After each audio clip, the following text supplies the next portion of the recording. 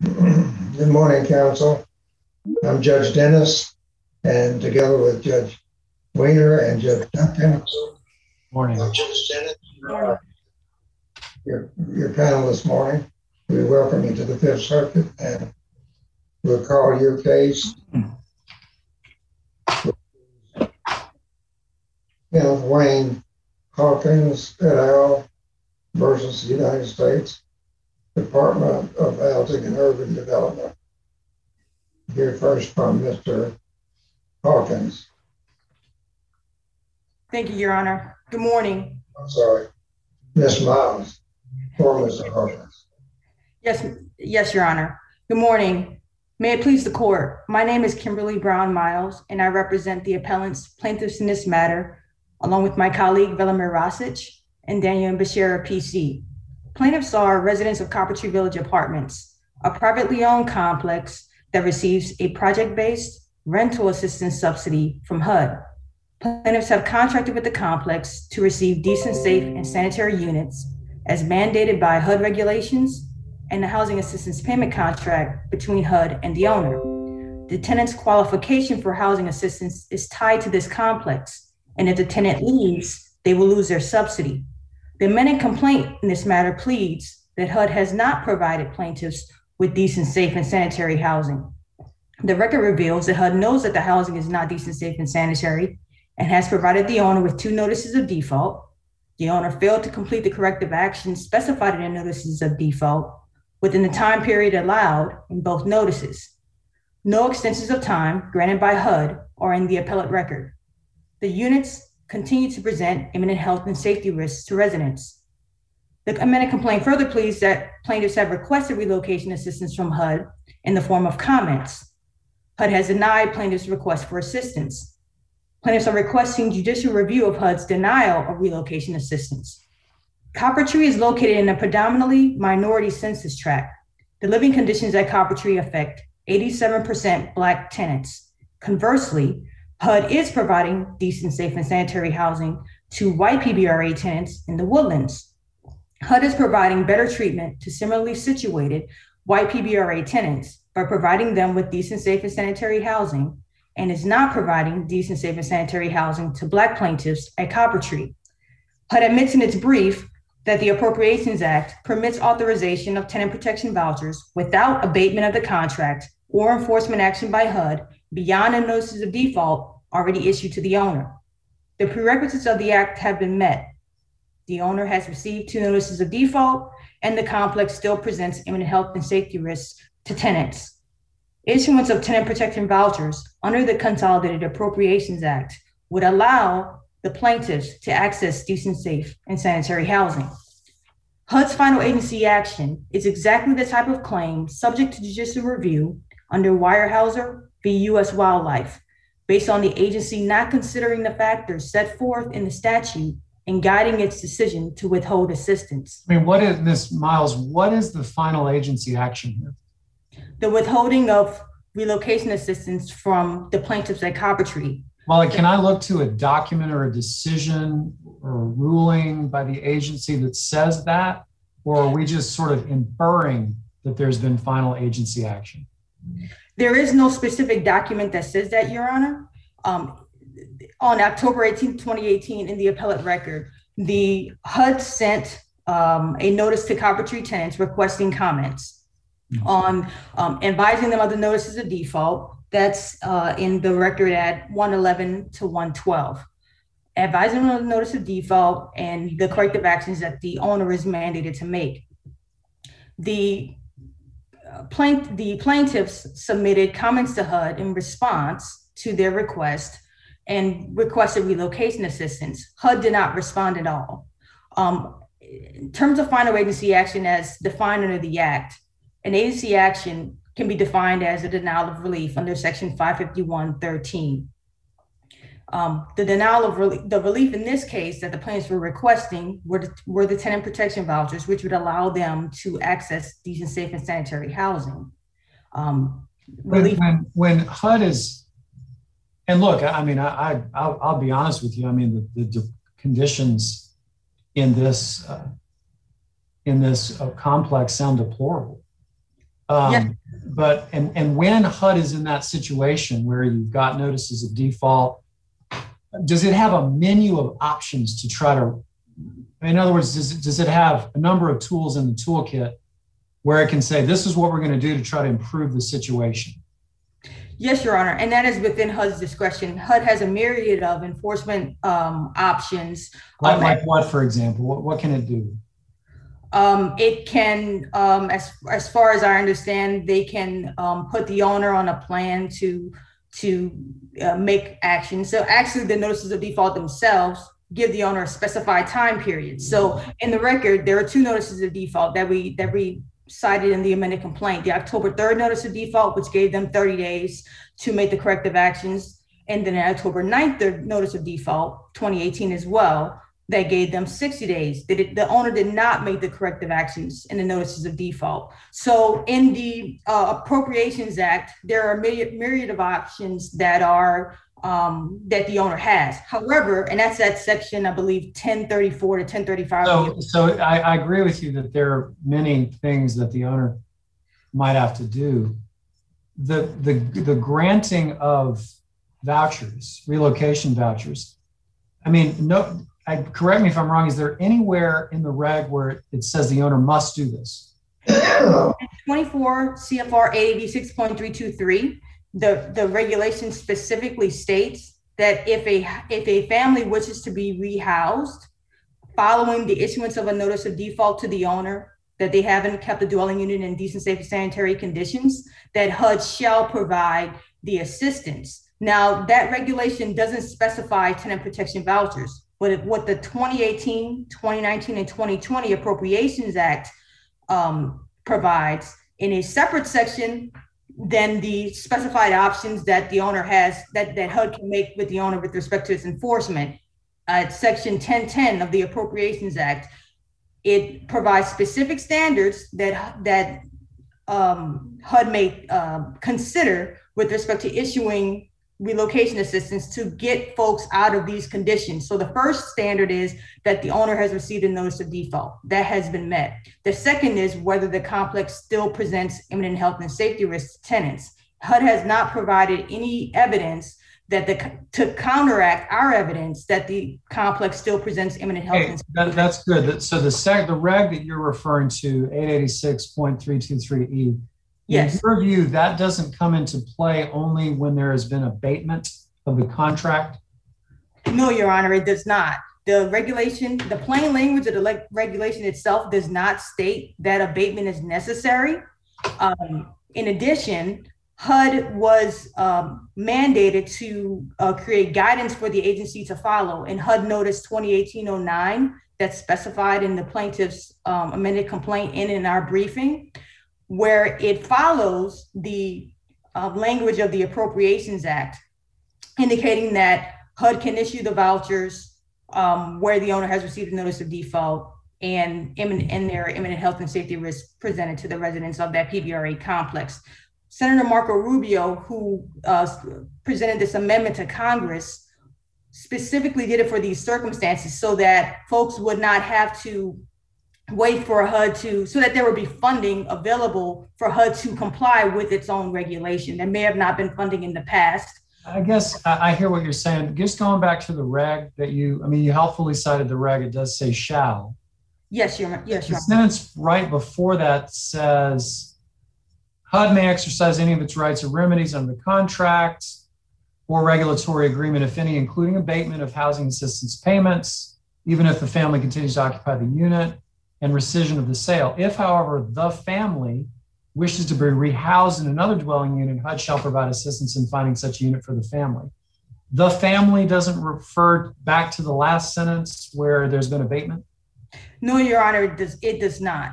Um, it, it is a separate, uh, section, and again, HUD itself in its later regulation following the um, the mandate in the Appropriations Act for it to provide guidance to the agency in terms of issuing the vouchers um, indicates that it, that abatement is not necessary, particularly in that HUD notice, HUD distinguishes between replacement vouchers and relocation vouchers.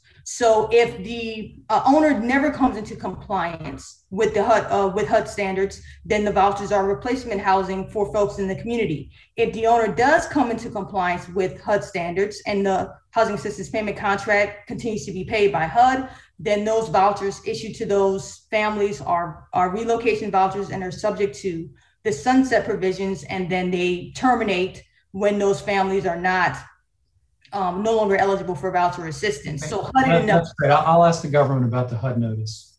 yes, Your Honor. That's helpful. Thanks. Thanks. Um, HUD's final agency action of withholding relocation assistance also violates HUD's statutory mandate to affirmatively further fair housing. HUD's payment for housing at Coppertree subjects Black tenants to uninhabitable living conditions. This is a part of HUD's pattern for paying for substandard housing for Black tenants in Black neighborhoods while paying for habitable housing for white tenants in white neighborhoods. HUD has a duty under Section 3608E of the Fair Housing Act to evaluate its denial of relocation assistance to these Black tenants living in uninhabitable conditions and its effect of that decision on the lack of housing opportunities that are not in unequal conditions. NAACP v. HUD, First Circuit case, held that HUD's discretionary administration of its grant programs can be reviewed for abuse of discretion under Section 7062 of the APA. However, the district court in this matter applied ADAPT v. HUD. ADAPT is not applicable.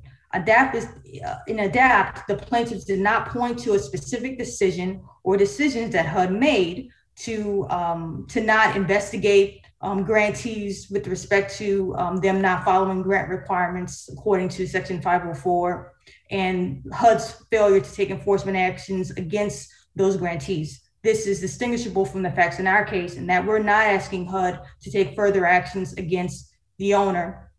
The prerequisites have been met already just by HUD uh, issuing the notices of default for the plaintiffs to be qualified for relocation assistance. Here, HUD's specific decision to withhold relocation assistance perpetuates its pattern of paying for unequal and substandard housing to Black PBRA tenants in Houston and is reviewable under Section 7062 because these actions are contrary to HUD's mandate to affirmatively further fair housing. HUD's withholding of relocation assistance also violates Section 3604 of the Fair Housing Act and is subject to judicial review. HUD is making decent, safe, and sanitary housing unavailable to plaintiffs because of race. HUD knows that the Copper Coppertree units are not decent, safe, and sanitary pursuant to its own inspections.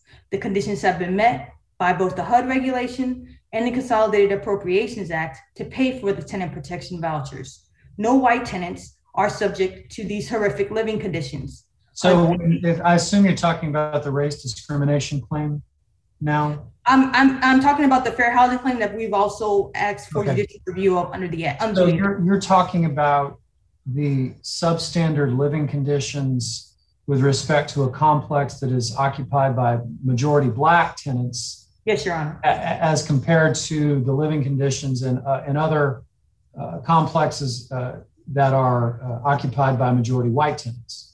Yes, Your Honor. My, I guess my difficulty with that is I thought we were talking about the issuance of vouchers. Yes, Your Honor. And, and so I wonder, I'm wondering if, if you are alleging that uh, white tenants are getting vouchers under circumstances where the, uh, the black tenants are not being given vouchers. No, Your Honor. That is not the similarly situated Okay. characteristic that we're alleging. Okay, I see. Uh, the white tenants um, in the PBRA complexes in the woodlands do not need tenant protection vouchers because they already have access to decent, safe, and sanitary housing. Um, our tenants, uh, our plaintiffs do need the vouchers just to access decent, safe, and sanitary housing. If HUD chose to uh, relocate them to PBRAs that were decent, safe, and sanitary pursuant to HUD rules, then that would be uh, satisfactory under HUD's own regulation. But HUD is not doing that. Um, and what we're why we're asking for specifically the tenant protection vouchers is that there's money afforded to HUD to do that. This $85 million appropriation specific to those vouchers is not a part of HUD's total voucher funding. And the vouchers and the I'm sorry, that particular appropriation has meaningful standards for HUD to follow and for the court to order HUD to, to um, consider with respect to issuance to the tenants so that they can have access um, to this um, funding. You're not bringing a, um, you're bringing a disparate treatment claim, not a disparate impact claim. A disparate treatment claim, yes, Your Honor. You're not bringing a disparate impact claim? No, Your Honor, we are not. Thanks.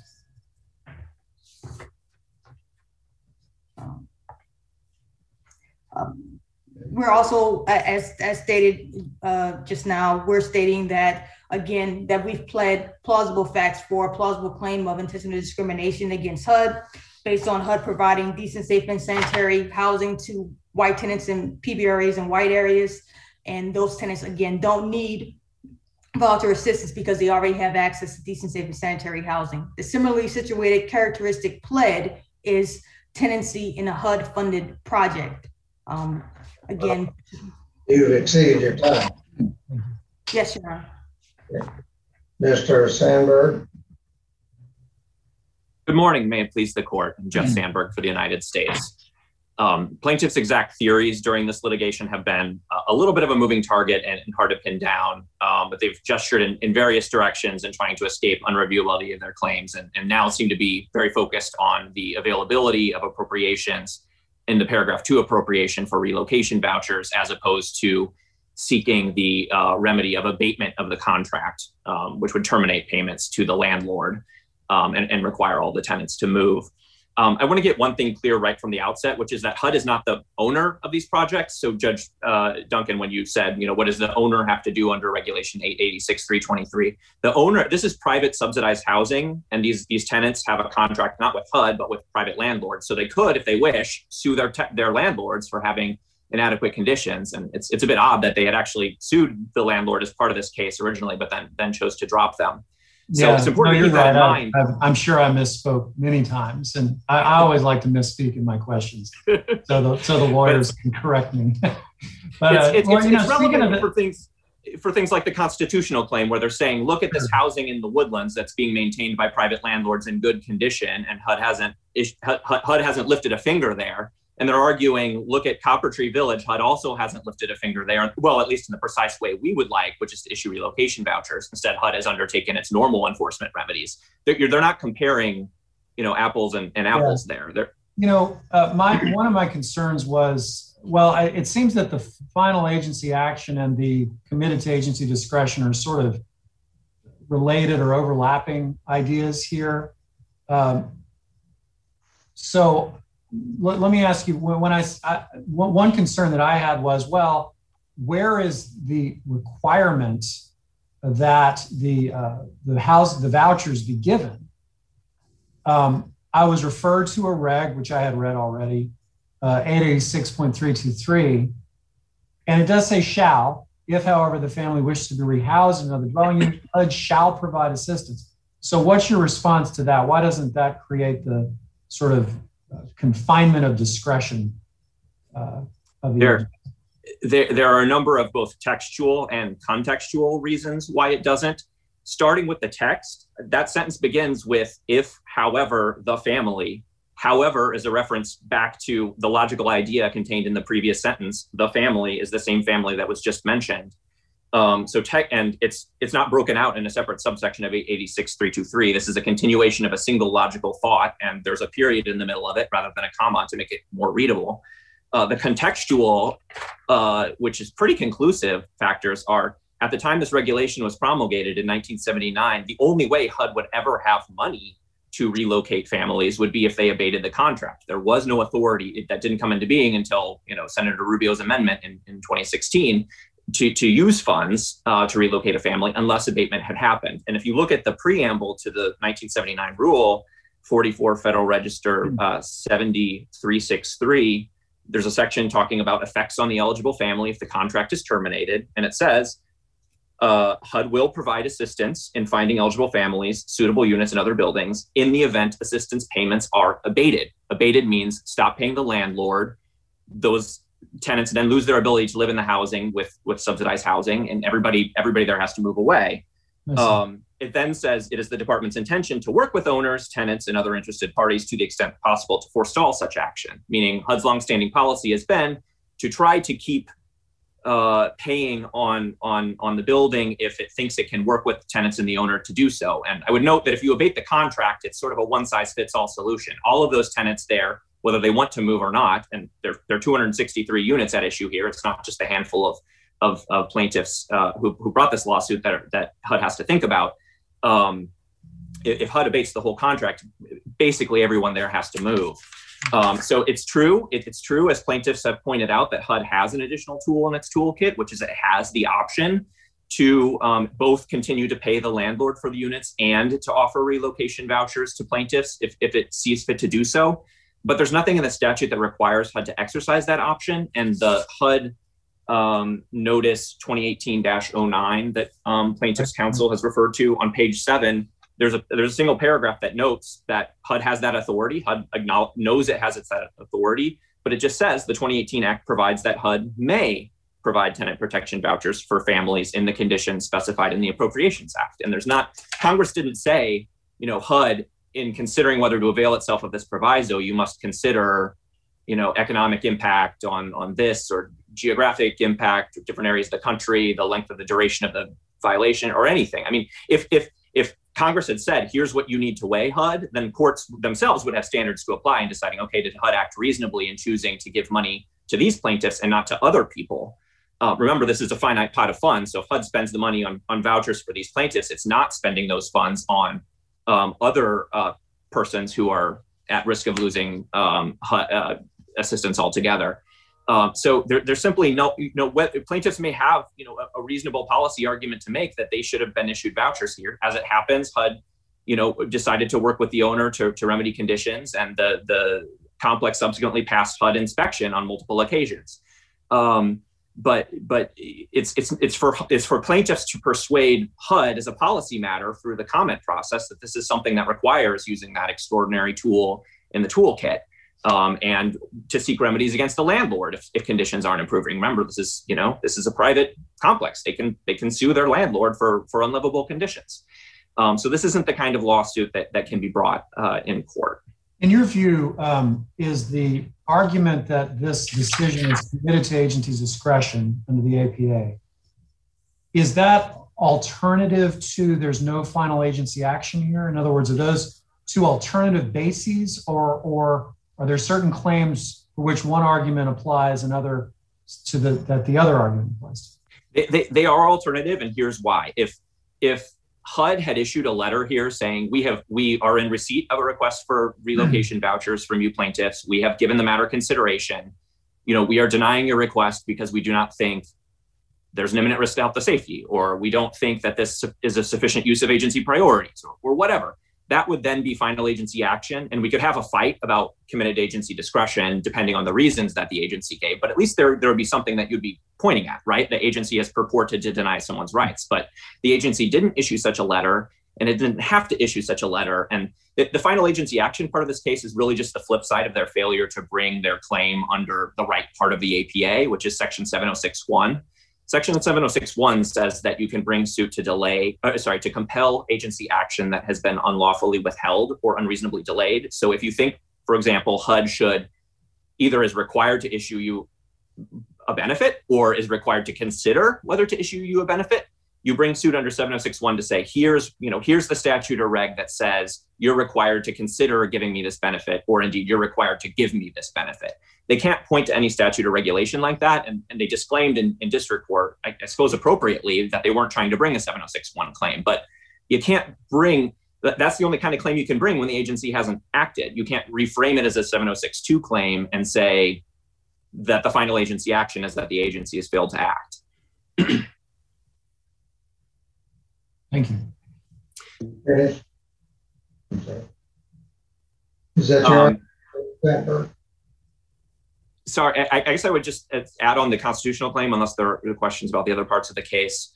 Um, that that again, they, they the plaintiffs have made very clear that the action that they're challenging is the failure to provide them with relocation vouchers. And so you have, if in undertaking the the 12b6 inquiry that this court laid out, and among other cases, the Lincoln property case recently, to, to figure out whether you have a plausible claim of race discrimination, you really have to have some inferences drawn from something that HUD was acting on the basis of race in HUD's own actions. and to point to the fact that private landlords are maintaining unspecified complexes in, although they're allegedly white majority, in good condition in the woodlands just isn't a basis for inferring that the decision not to um, provide relocation vouchers at, at Copper Tree Village um, was was discriminatory. I mean, you like they're they're in communities 30 miles apart. They're associated with different public housing agencies. There's all manner of reasons to just sort of at the at the outset question why one should conclude that there's a plausible allegation of discrimination. And it really is, it's not enough for the plaintiffs to come forward with facts that they can spin in a way that is consistent with liability. They have to actually nudge their claim beyond the conceivable to the, the plausible.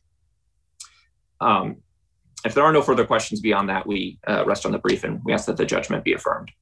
Okay, thank you, Mr. Sandberg. Ms. Myles, you have five minutes on the vote. Thank you, Your Honor. I'd like to address a couple um, um, matters that my colleague, Mr. Sandberg, um, mentioned in his in, in his presentation. Um, with respect to the uh, abatement language in the uh, regulation 886.323, we stand by the number one plain language of the statute, which does not require uh, abatement of the contract. And again, HUD's own regulation, I'm sorry, HUD's own notice um, that was um, uh, enacted in 2018 following the Appropriations Act makes it clear that abatement is not necessary in terms of HUD uh, issuing the tenant protection voucher assistance. So the mandatory language of the of the uh, HUD regulation, we stand by the plain language of the statute. And the uh, in HUD's brief, they cited a a Federal Register uh, um, notice but in that in that notice, the concern was that whether there would be funds for these tenants who have been displaced because of an owner not complying with HUD regulations. Um, and so the notice was indicating that there would be funds um, to rehouse those tenants if they were subject to abatement. Uh, 40 years later, in this, now that we have the Appropriations Act, which provides funds who are subject to these um, conditions, there's funding now to rehouse these tenants in accordance with HUD's 886.323 regulation. Uh, with respect to the um, discretionary portion of the May, as, as indicated in the Appropriations Act, we're again, as explained in our brief, uh, relying on number one, there's a basic presumption of judicial review. And that was most recently uh, explored again by the Supreme Court in Weyerhaeuser v. U.S. Wildlife. And what we're saying is that our case is similar to Weyerhaeuser in that we're and that HUD did not consider the, the relevant factors of the statute as set forth in the Consolidated Appropriations Act with respect to its discretionary um, decision to issue tenant protection vouchers to the to the plaintiffs. Um, in addition, um, we're also, um, if you look at Norton, um, uh, the 2004 Supreme Court case, uh, uh, Justice Scalia noted in that case that when an agency is not complying with a land use plan um, under that type of um, non-compliance by the agency or an agency action not in compliance with um, an agency's land use plan is again an agency not acting in accordance with its own um, with its own plan is reviewable under section 7062. So we're stating that HUD has enacted in accordance with its regulation. And in addition, we're saying that it's been a, it's an abuse of discretion for HUD not to have considered um, the factors I set forth in the Appropriations Act in terms of its decision to not issue the funding. With respect to the uh, the final agency action argument made by my colleague we stand by the fact that there is final agency action in this in this case. Final agency action requires um, two elements: one, that there's been a consummation of the agency's decision-making process, and two, that there are legal consequences or rights have been determined. Um, that's per Bennett v. Spear. First element has been met in that HUD issued the notices of default to the owner the owner did not comply within the time period specified in the notices of default. HUD considered that the owner didn't comply And then they also still were obviously well aware of the hazardous conditions present at the complex. And Oh, they Ms. Myles, not uh, Ms. Myles, sorry to interrupt. Mr. Sandberg represented to us that uh, since, so I guess subsequently to this, the complex has passed HUD review. Uh, That is not in the record, Your Honor. Okay, That's on the appellate record. Okay, thanks.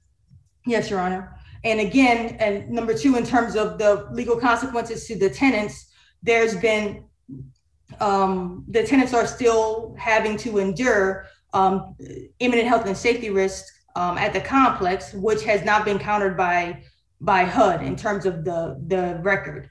There's been, the plaintiff's declarations have indicated that there's uh, extreme security issues, um, extensive mold that's simply been painted over, um, inoperable appliances, inoperable smoke detectors, uh, damaged roofs, um, lead paint, electrical hazards, um, plumbing issues. All those issues are our plaintiffs are having to endure while being living at that complex. Thank you, Your Honor. Thank you. Case will be submitted. And uh, we will call the next case for today.